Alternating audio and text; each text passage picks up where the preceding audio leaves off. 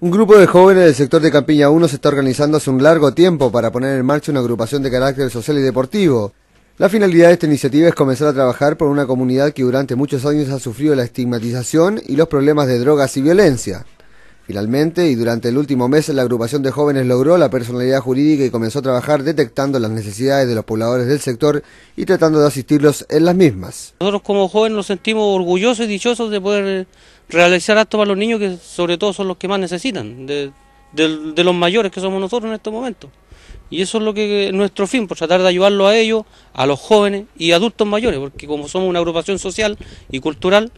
deportiva tenemos harto alcance por, el nombre que tenemos y en la municipal nos dijeron que ese alcance de nombre podíamos ayudar a distintas clases sociales y de, distintas etapas. El trabajo de estos jóvenes comenzó inmediatamente y durante el fin de semana pasado realizaron una actividad recreativa para todos los más pequeños del sector y que fue muy bien recibida por la comunidad y también por aquellas empresas que apoyaron la iniciativa de estos jóvenes y de las cuales ellos están muy agradecidos. Darle las gracias a los que los cooperaron, tanto al supermercado Marigalla, a don Jorge Larcón, que lo conozco personalmente,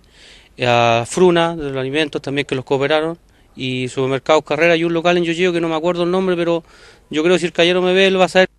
las gracias de antemano y a nuestros vecinos de la población Campiña 1 que también los cooperaron y los creyeron en nosotros para la actividad para los niños y ellos vieron realmente en la cancha de la campiña que todo resultó. Y como el trabajo comunitario para este grupo de jóvenes es muy importante, ya están preparando una nueva actividad que comenzará el jueves y que se extiende hasta el fin de semana para poder recaudar fondos y por supuesto para la recreación de todos los habitantes del sector. Este fin de semana tenemos una actividad que se eh, cuenta en un, en un campeonato de brisca, la cual empezaríamos el día jueves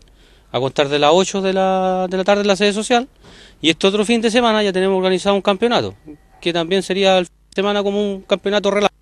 para poder ir juntando fondos, porque nosotros como empezamos recién, tenemos poco fondo y lo primero que necesitamos es un fondo para empezar a programar más actividades para tanto para adultos, niños y jóvenes.